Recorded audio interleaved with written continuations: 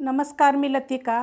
आज मी तुम्हाला बटाट्याची सुक्की भाजी बनवून दाखवणार आहे. त्यासाठी बघा हे चारशे ग्राम मी बटाटे घेतले होते आणि त्याचे साल काढून बघा असे तुकडे करून घेतलेले आहेत गोल गोल. तरी चौकोन तुकडे करून घेतले बारीक कापून जरी घेतले तरी चालतील. अशा पद्धतीत बघा जसे आपण काप करतो ना असे मी कापून घेतलेले आहेत. कढई गरम करत ठेवलेली आहे आणि ही तेलाची कढई आहे बरं का. ह्यात तेल मी गरम करून घेतलं होतं तर त्यात मी थोडंसं तेल टाकणार आहे. तेल किती टाकायचं? अर्धी पळी मी तेल टाकलेलं आहे आणि तेल गरम होऊन देऊया. तेल बघा चांगलं गरम झालेलं आहे. त्यात टाकायचे छोटा एक चमचा मोहरी आणि मोहरी चांगली भाजून घेऊया. मोहरी बघा चांगली भाजली गेलेली आहे. त्यात टाकायचं एक चमचा जिरं.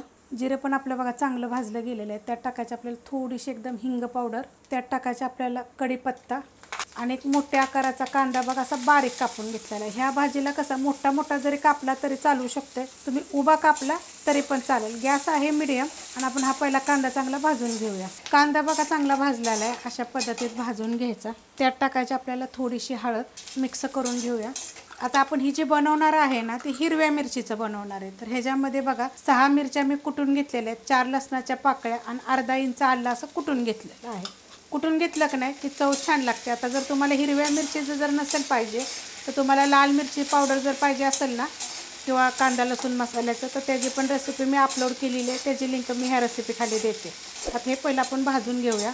भाजून घेतलेलं आहे बघा चांगलं अशा पद्धतीत भाजलं गेलं पाहिजे. त्यात टाकायचे एक छोट्या आकाराचं टोमॅटो आता हे काय माहिती आहे का? तुम्हाला जर आवडत असेल तर टाका. जरी नाही टाकलं तरी चालू शकते. आता ह्यात काय करणार आहे? चव्यानुसार आत्ताच मीठ टाकणार आहे हे मी.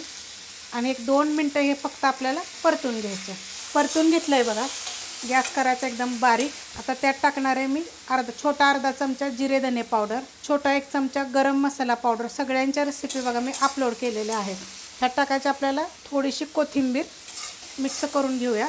त्यात टाकायचे आपण हा बटाटा. आता बटाट्याचे जर तुम्हाला गोल नसेल कापायचे पाहिजे असले तर छोटे छोटे केले तर चालतील. पुष्कळ रेसिपी वेगवेगळ्या पद्धतीनं बटाट्याच्या मी अपलोड केलेल्या आहेत.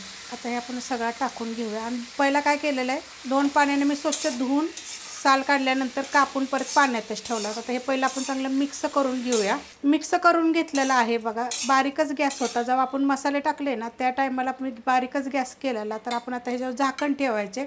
एक दहा ते पंधरा मिनटासाठी आपण झाकण ठेवूया. बारीक गॅसवर बघा झाकून ठेवलं होतं. झाकण काढूया. आपण यात पाणी जरासुद्धा आपण टाकलं नव्हतं. नुसतं हे वाफेवर होतं बघा. मस्त असं. आणि जर तुमची कढई जर पातळ असेल तर तुम्ही एकदा हलवा बरं का. कारण ही थोडी माझी कढई जाड आहे आणि खाली काय वगैरे हे जर लागत नाही मस्त आहे असे कारण आणि हे कसं आहे माहिती आहे का? तुम्ही जर मिडियम गॅसवर जर केलं ना तर पाच ते सात मिनटात पण शिजेल. मी एकदम बारीक गॅस केला होता. मस्त बघा झालेलं आहे. अशा पद्धतीत करायचं. खूप रेसिपी वेगवेगळ्या पद्धतीने मी दाखवते. रेसिपी जर तुम्हाला आवडली असेल तर लाईक करा सबस्क्राईब करा कमेंट करा आणि शेअर बी करा.